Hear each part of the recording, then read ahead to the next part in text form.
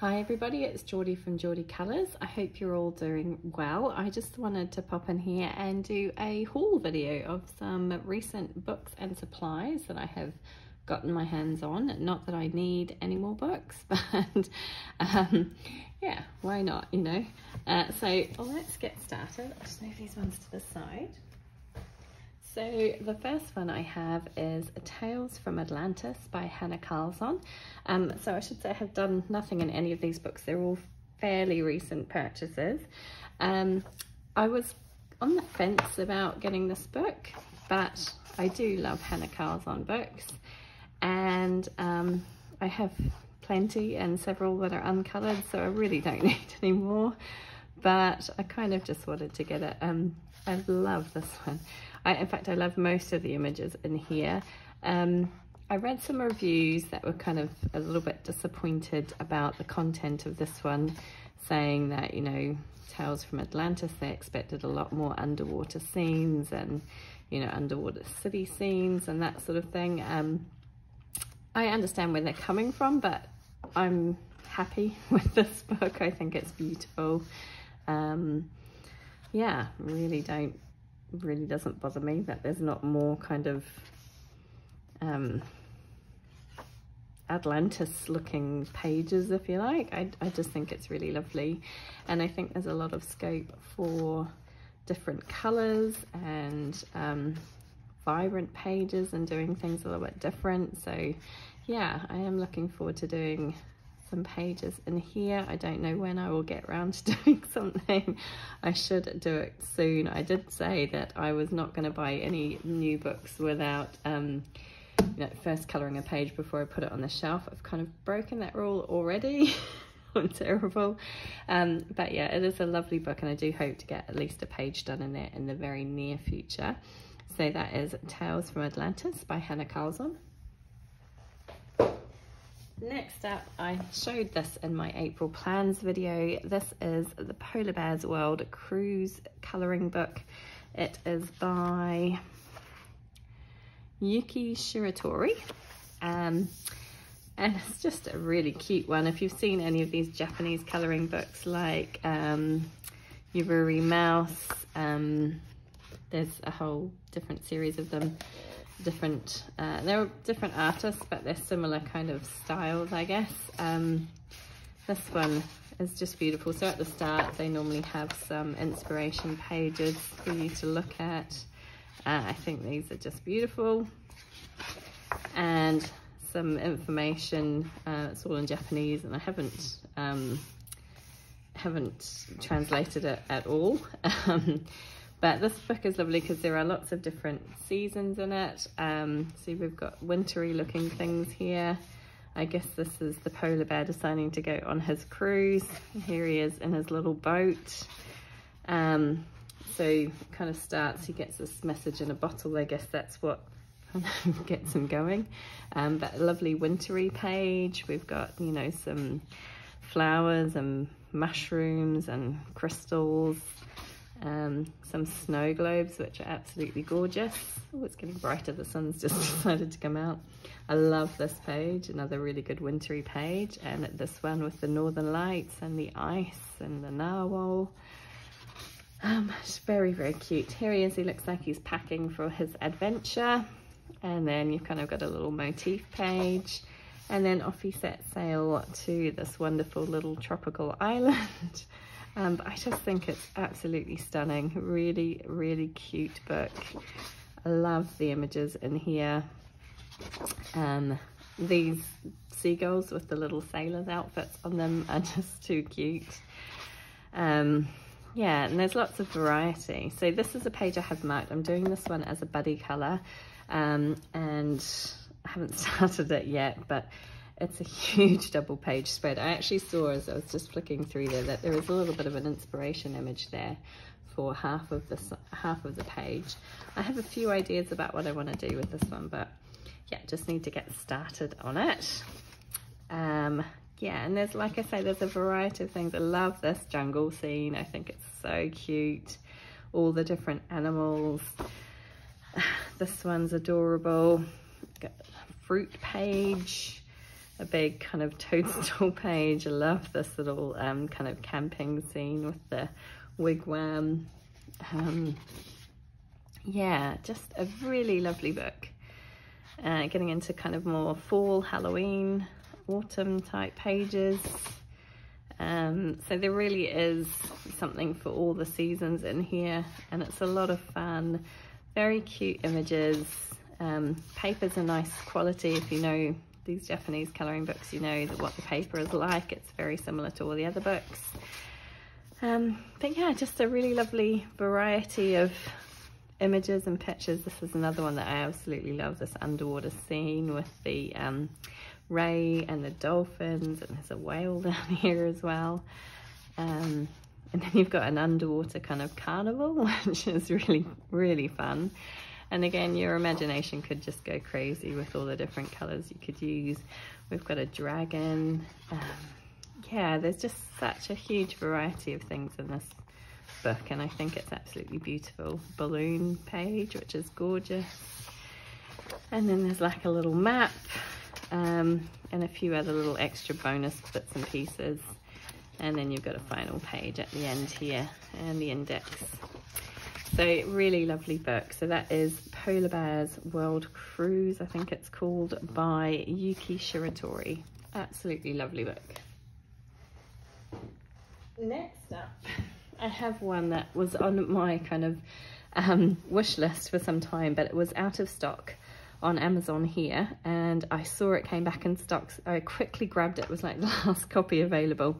It's um, Art Therapy Le Grand Carré Disney Petit Poupée, which I believe is Little Dolls by Hachette Heroes. The artist for this one is Capucine Sauvignon. I'm not sure if I'm saying that correctly. Close enough.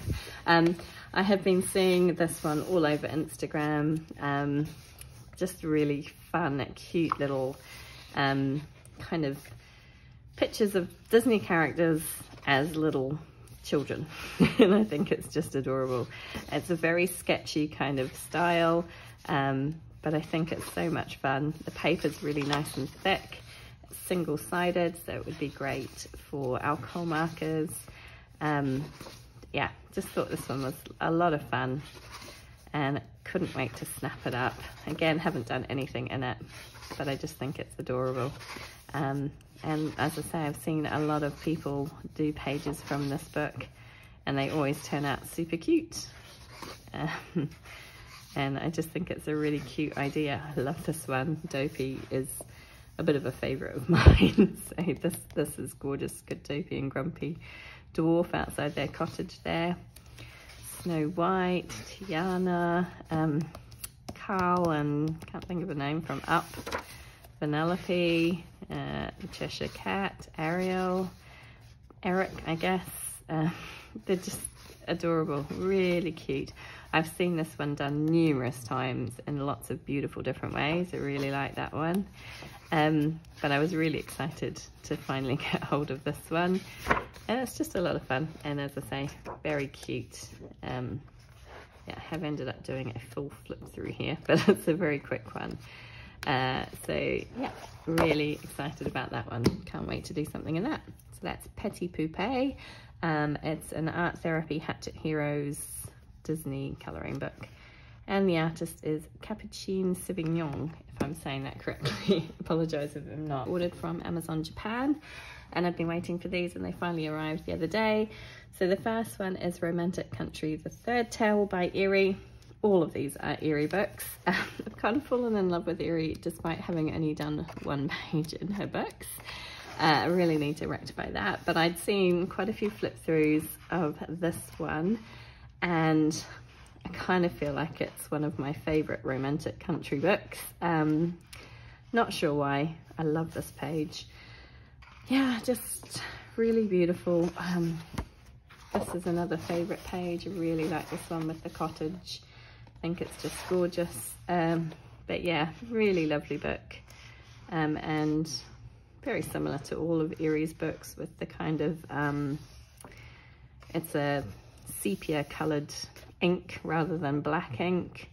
Um, and I believe she uses a toothpick to colour with, which is a bit different, or not colour with, but to draw with, which is a slightly different um, method from a lot of other artists. And I really like her style. It's quite whimsical and um, yeah, very pretty and fun and um, lots of really cute images. So I'm sure you've all seen flip throughs of this one numerous times. It has been out for quite some time, but I finally got my hands on it. So really happy to have that one in my collection, and that's Romantic Country, the third tale by Eriy. I'll probably take these bits off, I've just kept them on there for now. Next up, I have this one, which is A Journey Through Time by Eriy. Again, it's another one that's been out for a little while. Um, I had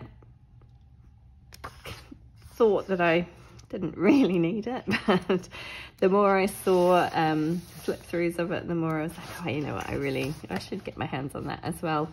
Um, kind of complete my Eriy collection. like I say, don't really need any more books, but um, yeah, there are some lovely pages in this. This is quite a special page for me. This is, um, I translated it at the front. This is Hoi An uh, Lantern Festival. And my family and I traveled to Hoi An in Vietnam a few years ago. And um, it's a beautiful, beautiful place, beautiful part of the world. So quite excited about doing this page. Um, then we've got this one. I live in the Middle East in the UAE. So we have lots of camels and desert. so this one is quite appropriate for where I live. Um, we've got, this is a marae in, um, I think it was, I want to say Tahiti or somewhere like that. So I come from New Zealand. Um, so we have marae in New Zealand. They're different, they look different to this, but again, this had a little special place in my heart when I saw it. Um, and yeah, it's just beautiful. I love this page. And again, there's lots of variety, uh, lots of different images. And as it suggests, it's a journey through time, but also a journey kind of around the world to different areas. So again, this is quite, um, it's, it's very reminiscent of where I am now with the kind of Arabic patterns. Um, so yeah, I'm looking forward to dipping into this book and maybe trying a page or two. Again, not sure when I'm going to do that, but uh, it is beautiful. I'm hoping you can see enough of the page there. Zoomed out very far. This is a beautiful one. Um, I think this is really lovely. So I couldn't see that being really bright and colourful and fun. Um, this would have been a good one for Easter, so maybe I can save it for next Easter with the Easter eggs. Yeah, and there's, you know, Christmas pages in here, um, so different things. Um, this one, which is kind of very Harry Potterish, uh, Halloweeny. Um, yeah, so lots of very detailed pages. I mean, look at this one with all the flowers. It's beautiful, but very detailed. So I think some of them will take a little bit of um, doing. I also love this page with the garden and the little bunny rabbit. Um, I think this one's beautiful. So yeah, lots of lovely pages in here. Just have to get around to actually colouring something. So that was Eriy's A Journey Through Time. And then the final Japanese colouring book I got is um, Legends of the World, or when I translated it, actually translated to A Journey to the Magical Country with a Fairy, so by Eriy, but basically it's Legends of the World. Um, so again, you've got some kind of smaller little note card pieces at the back, and then you get into kind of the main images in the main book. Some of these I did recognize. Some of them I wasn't 100% sure what they were. Um, so I think this is Petra. Um, they I did translate them at the start but I, I can't honestly remember what all of them were this one looks a bit like Maui um, with his giant fish hook um, but again you've got images from around the world and Um, there's different costumes. I haven't broken the spine of this one, so it's, yeah, not sitting flat yet. Um, but yeah, it's, it's a lot of fun. You've got, um, I think this is Isis, I'm not 100% sure. Um, yeah, they're kind of, as the name suggests, legends from different parts of the world. Um, I think when I read the translation, this one was a werewolf. Uh, this is actually um, a Portuguese um, motif. Uh, you've got um, a gargoyle in Paris, uh, a unicorn. So yeah, lots of different, um, we've got all the star signs on this page, which is fun. Um, but yeah, there were lots of different legends from all around the world. And um, it was kind of fun reading up about them. I can't remember them off, offhand. I'd have to look look up. I did write them all down at the front of the book in pencil so that when I come to colour, I know kind of an idea of what the page is about. Um, but yeah, lovely, lovely book, beautiful images. And yeah, really happy to have this one added to the collection. Again, you've got some like, you know, Halloweeny type pages. Um, I remember this was definitely the York City Ghost Tour, which I have actually done many years ago. It was a lot of fun, so that's quite a cool page. Um, but yeah, just lots of lots of fun pages. And again, lots of variety, lots of different scenes. Some much busier, some a little um, less busy. But yeah, really lovely. So I'm glad I've got that one. That's Eriy's Legends of the World. Creative Haven Village Charm colouring book. This one's by Teresa Goodridge. I have been eyeing this one up for a long time um, and it was on a special deal and I decided to snap it up. Um, I love Teresa Goodridge's images. I'm not sure when I will colour this one, um, but I love this page. Um, but the page I really, really like is the actual, uh, not the front cover, it's on the inside cover. Yeah, this one with the quilt. So that's the page I'm really quite um, excited about. um, but all of the pages are beautiful. This one with the with the quilts in the cottage. I really like this page. Um, but yeah, I just thought I'd snap it up. It was it was pretty cheap. It was on a half price deal, um, and I kind of felt like I might as well grab it. As I say, I've been eyeing it up for quite some time. I have quite a few Teresa Goodridge Creative Haven books. Haven't done a great deal on them, so I probably didn't need another one. Um, but yeah, I've got one. So yeah, it's a beautiful book. So that's Creative Haven Village Charm by Teresa Goodridge. Okay, next up I have some um, supplies. So I bought myself, I already had um, the first three sets of these Distress Oxide, Distress Watercolour Pencils, I should say, by Tim Holtz, Ranger and Tim Holtz.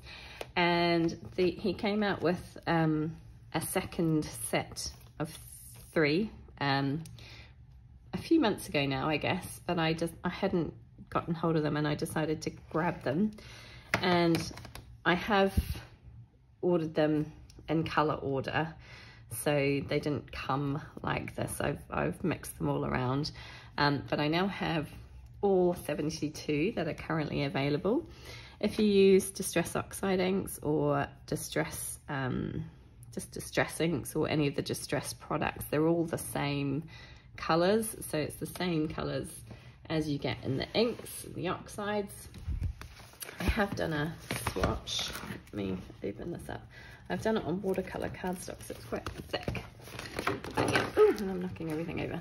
This is um, the colours, so it's not very neat swatch chart, it's just a rough one. But you can see there's a beautiful range of um, all the different colours. That's the rest of them down there. Um, so I'm quite excited. I have been using these a lot recently, so um, I really enjoy using them. I find them I find them easier to use than my ink Inktense or my Neocolor 2s. Um, I find I have a little bit more control with them. I don't know why. Maybe it's a mental thing with me, but um, I really like them. So I'm really happy to have the full set. And I have, as I say, been using them quite a bit already. So yeah, really excited. So I'll hold them up a little bit closer. It's a bit shiny with the lid on. I'm not sure it's going to make any difference, but that's kind of the pinks and reds. And then I have the kind of oranges and yellows, and that's it. Then I've got the blues in there and the kind of teals and greeny blues. Then I've got the greens in this one. I've got the purples in here and there's some kind of like violets and then some red violets. And then I've got the more kind of neutral browns black and white in this one. So it's a really good variety of colors here aren't they? Um, and yeah I really like I really like them really love using them. I what order they're to go in that way I think um, and I'm really happy to have them in my collection so that's the Distress Watercolour Pencils by Tim Holtz and Ranger. get that out of the way. The next thing I have, and I did show these really briefly um, in one of my recent videos because uh, I'd only just got them and I was quite excited about them. These are my new metallic watercolors. These are by, I got them on Etsy. I'm not sure if I'm pronouncing it right. It's Ayuli. I don't know if I'm saying that right. But yeah, this, um, I, I ordered them, as I say, from Etsy. That She's based in the States. And so I got this um, dot card series. It's the mica dot card.